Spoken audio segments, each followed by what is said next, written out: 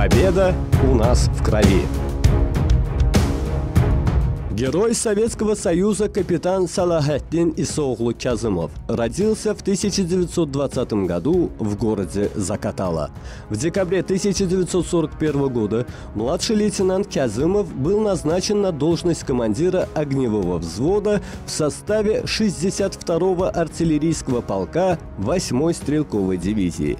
В марте 1942 года 8-я стрелковая дивизия вошла в состав 3-й армии Брянска Брянского фронта и долгое время вела тяжелые оборонительные бои на рубежах восточнее города Орел. В начале 1943 года дивизия приняла участие в Воронежско-Касторненской наступательной операции и вышла на рубеж Малоархангельск, Рождественская, Орловской области. В ходе Курской битвы 8-я стрелковая дивизия действовала в составе войск 13-й армии Центрального фронта. 5 июля в бою в районе Зеленой рощи Малоархангельского района батарее лейтенанта Кязымова пришлось принять на себя первый удар вражеского наступления. В эти критические моменты боя Салахаттин Кязымов хладнокровно и умело продолжал командовать батареей. После завершения оборонительного сражения войска Центрального фронта перешли в наступление в рамках Орловской наступательной операции. Батарее старшего лейтенанта Кязымова пришлось под огнем противника форсировать реки Десна, Сейм, Днепр, Припять.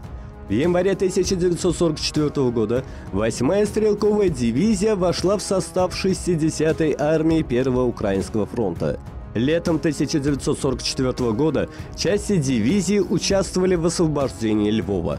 В ноябре 1944 года капитан Кязымов получил назначение на должность командира артиллерийского дивизиона 256-го артиллерийского полка 9-й казачьей пластунской дивизии в составе 60-й армии.